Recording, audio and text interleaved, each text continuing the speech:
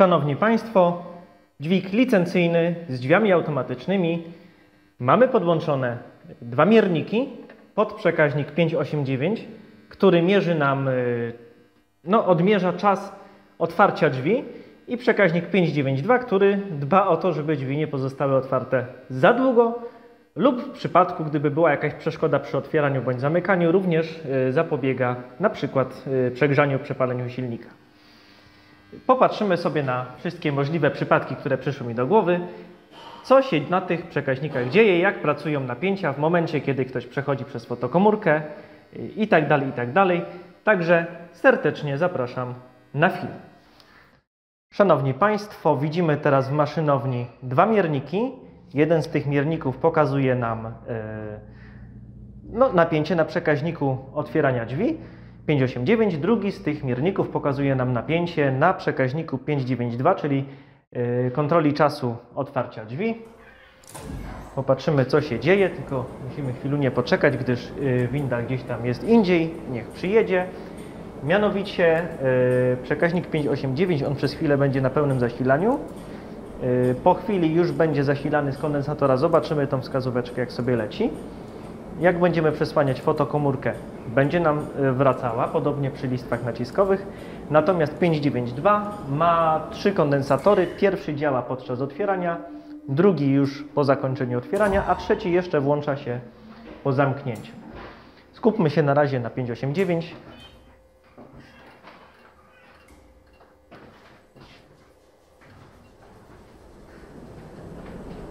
Pytanie, na ile to jest widoczne. A jeżeli poczekamy, aż wskazówka spadnie odpowiednio nisko.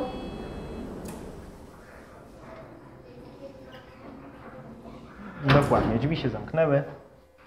A jeżeli chodzi o 592, mamy pierwszy kondensator. Teraz został dołączony drugi, wskazówka podskoczyła. I w momencie, kiedy drzwi się zaczną zamykać, znowu był podskok, gdyż został dołączony jeszcze trzeci.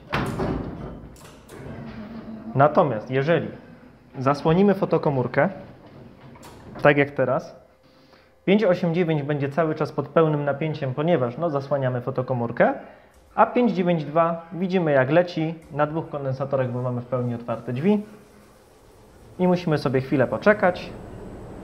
To może potrwać. Tak, i teraz się drzwi zamykają już powolutku. Jeżeli ja wcisnę listwy naciskowe, no właśnie, bo to jest ten przypadek, że musimy do końca. Także to, to do tego wrócimy innym razem. Dlaczego tak się dzieje, że raz się zamyka e, od razu, a raz się cofa.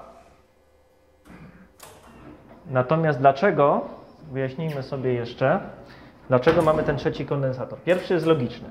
Jeżeli by ktoś przytrzymał te drzwi i nie dałby im się otworzyć, to w momencie, kiedy to się rozładuje, ja je teraz ciągnę, żeby one się nie otwarły, one zawrócą. To jest takie zabezpieczenie przed tym, yy, właśnie gdyby była przeszkoda, no w tym przypadku to była moja osoba, ale jakakolwiek inna przeszkoda, żeby te drzwi się nie otwierały w nieskończoność, tylko, tylko zawróciły. Drugi kondensator, no to jest właśnie po to, jeżeli jakiś łobuz stanie w drzwiach.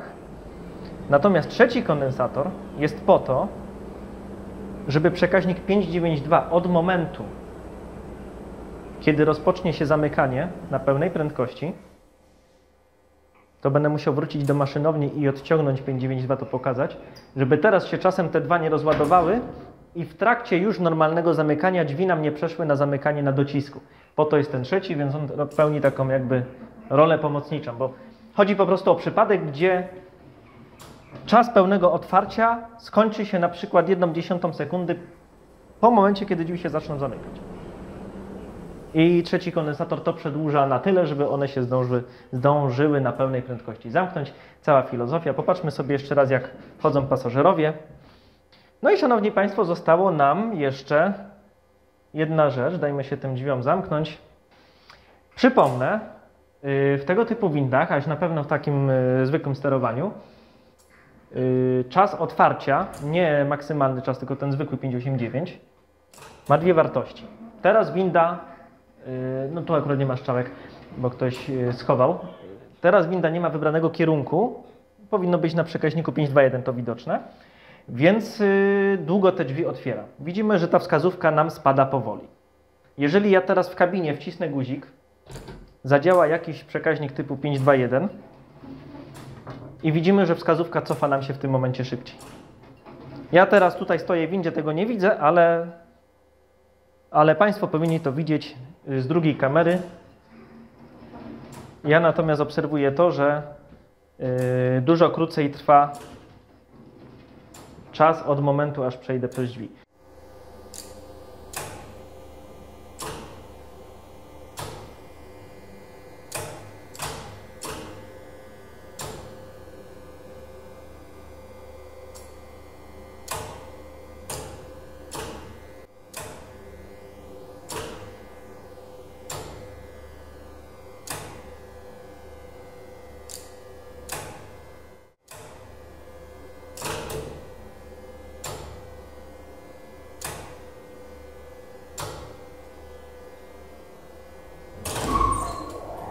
Szanowni Państwo, yy, jeszcze jedna rzecz. Mianowicie na przekaźniku 589 mamy dwa kondensatory, ale tak naprawdę czasy mamy trzy, powiedzmy cztery. Yy, gdyż po prawdzie teraz widzimy, jak ja w tym momencie tu klikam przycisk, to ta wskazówka yy, od razu zaczyna opadać, tak? Popatrzmy na to jeszcze raz.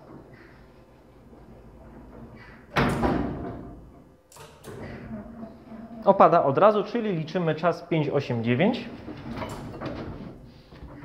Natomiast jeżeli ja wyślę windę piętro niżej, to zobaczymy pewną rzecz. Tylko musimy teraz chwilę poczekać, winda sobie pojedzie, wróci i wtedy na to zobaczymy.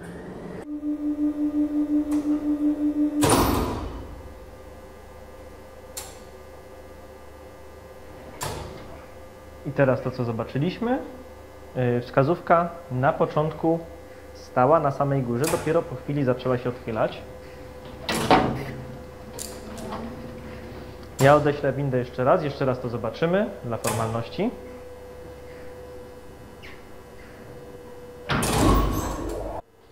Mianowicie, jeżeli winda nam dojeżdża z innego piętra, przy zwalnianiu działa przekaźnik 529 i on podtrzymuje pełnym napięciem 589 a ponieważ ktoś jest opóźniony kondensatorem, to jego czas opóźniony odpadania dodatkowo nam wydłuża czas otwarcia tych drzwi.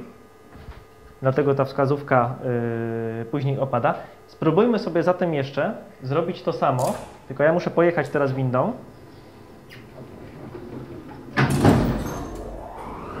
Powinno być mnie słychać, niestety mnie nie widać, bo jestem wewnątrz windy.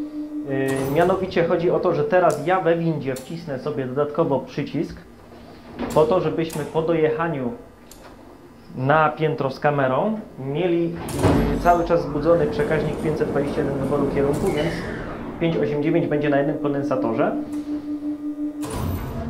On się podtrzymuje przez krótką chwilę na 529 yy, na zwalnianiu, po czym drzwi jednak zamykają się szybciej, gdyż mamy wybrany kierunek.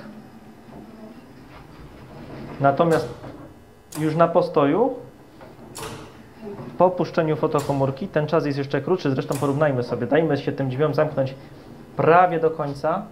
O! Palce całe. Przy dojeździe było chyba troszeczkę dłużej. Odtworzymy drugi raz to nagranie. Teraz to zobaczę, czy się coś stało na nagraniu, czy czasem nie przekroczyłem czasu pewnego otwarcia, bo już mi przycisk drzwi nie zadziałał. Całkiem możliwe. Dobrze, to wykorzystajmy tą samą sytuację. Jeszcze raz jeszcze raz przyjadę z wciśniętym innym piętrem, żeby mieć cały czas wybór kierunku. I zobaczymy, jak to teraz wygląda.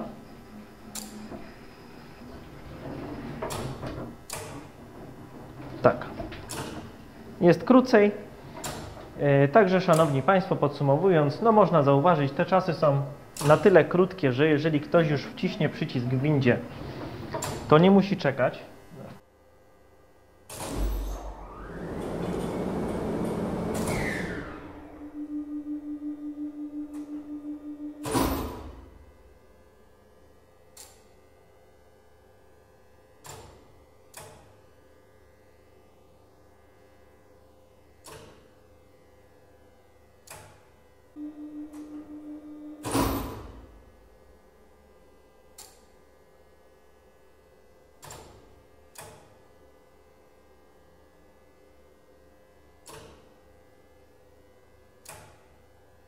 Wszystko zrobione jest tak, że jeżeli ktoś już jest w windzie, ciśnie jakiś przycisk, to nie musi długo czekać, bo ten czas spada. A jeżeli w windzie nikogo nie ma, to już docisk chyba poszedł, tak jest. A jeżeli w windzie nikogo nie ma, no to winda jest na tyle uprzejma, że ona poczeka. Dlaczego? Bo to chodzi o to, że człowiek może być gdzieś daleko. Ja się rozglądam, która winda, zanim ja do niej dojdę, to muszę zdążyć wejść. Natomiast jeżeli mam wybrane piętro,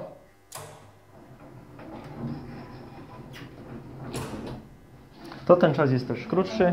No i po dojechaniu innego piętra też jest minimalnie dłużej, co dodatkowo daje nam, nie wiem, pół sekundy na to, żeby tą windę odnaleźć. Tu są dwie, więc to nie jest problem, ale jak był budynek, gdzie było 8 wind, jeżeli taki gdzieś istniał, chętnie się dowiem.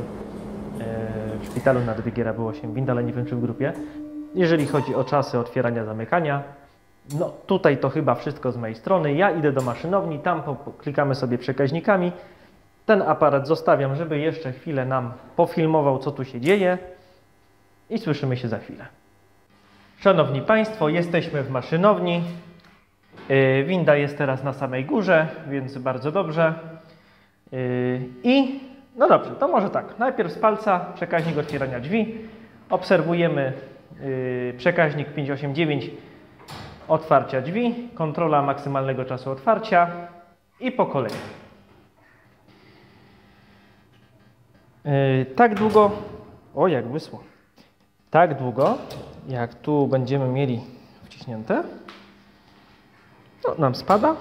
Spróbujemy sobie z listew. Czekaj, odciągniemy.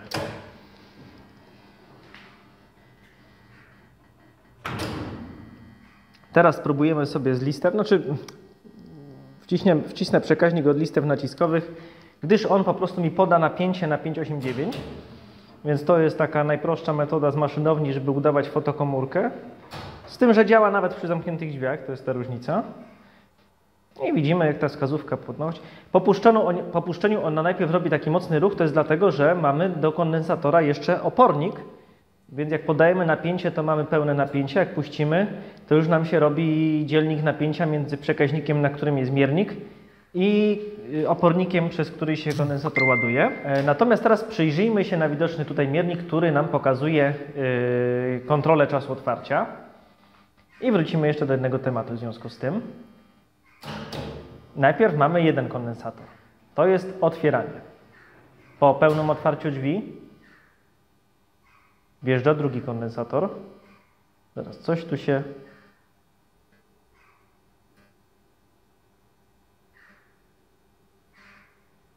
Ten miernik szaleje, to jeszcze raz spróbujemy.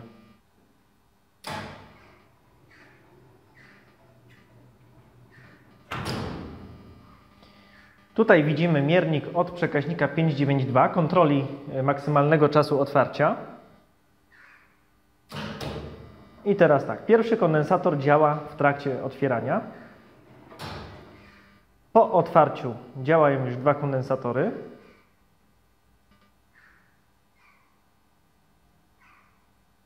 Czemu on mi teraz tak dziwnie skacze, tego nie powiem.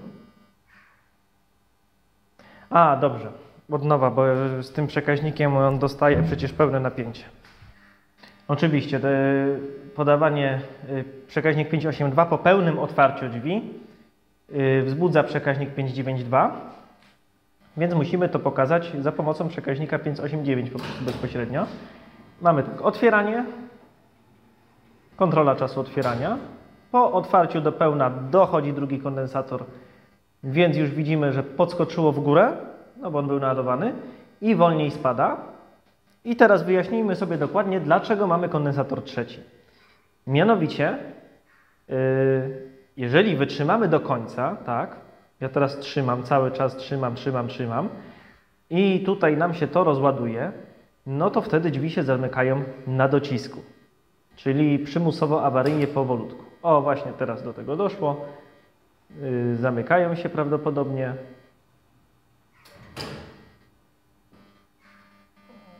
Chociaż ja trzymałem przekaźnik, to może się to trochę inaczej zachowało. Yy, W każdym bądź razie yy, chodzi o taką sytuację, że jeżeli Niech się tylko drzwi otworzą. O właśnie.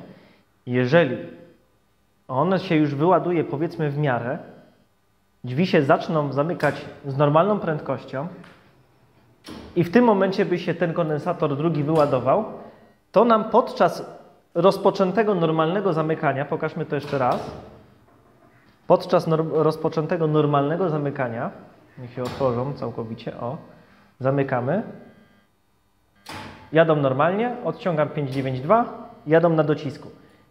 To jest niedobre. Dlatego jest trzeci kondensator właśnie po to, że w momencie, kiedy już powiedzmy ta wskazówka była prawie na końcu, ale jeszcze 592 trzyma i drzwi się zaczęły i jeszcze zdążyły zatrzymać, za, zacząć zamykać się normalnie, no to właśnie, żeby on nam w tym momencie nie odpadł, to po rozpoczęciu zamykania spójrzmy jeszcze raz. Otwarcie do końca. Uwaga. Zamykamy. Dochodzi troszkę więcej. Zamykamy, czy się zamknęły do końca? Zamknęły się do końca chyba, moment tak. Otwarcie. Są otwarte do końca. I uwaga, rozpoczęcie zamykania. Wskazówka poszła troszkę w prawo.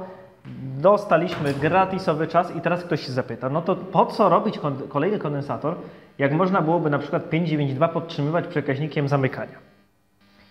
No wszystko fajnie, ale jeżeli podczas tego zamykania, no już nie będziemy się siłować silnikiem, nie będę tego pokazywał, jeżeli podczas tego zamykania, yy, spójrzmy sobie jeszcze, jeżeli podczas tego zamykania doszłoby do tego, że znalazłaby się w drzwiach jakaś przeszkoda, nie mogłyby się zamknąć, no to żeby się silnik nie siłował w nieskończoność, to jednak po jakimś nienormowalnym, dłuższym czasie niż normalne zamykanie, wyładuje się, 592 odpadnie i drzwi przejdą na zamykanie na docisku, które może już stać w miejscu, silnik się nie spali na pewno. Yy, a jeżeli nie dojdzie do tego, że będzie jakaś przeszkoda w drzwiach, wszystko będzie działać normalnie, no to w tym momencie jedynie co, to drugi kondensator, który służy do tego, żeby ścisnąć kogoś za tyłek, jak drzwi będzie nam blokował. Y, Jeszcze, Szanowni Państwo, y, popatrzmy sobie raz z przekaźnikiem 529. Y, Dokładnie. Jak ja go przytrzymuję, proszę zobaczyć, od razu nam ruszyło otwieranie drzwi. Wskazówka stoi pionowo, gdyż o, dostaje z niego napięcie, a przekaźnik ten. Muszą się drzwi zamknąć. Przekaźnik ten po ruszeniu dźwigu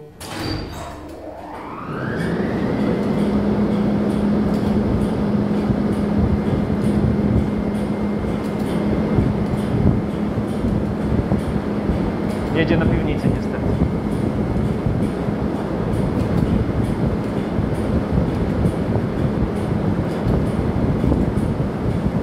Przekaźnik ten od momentu, gdy zaczynamy zwalniać, potem jeszcze przez jakąś chwilę pozostaje przyciągnięty.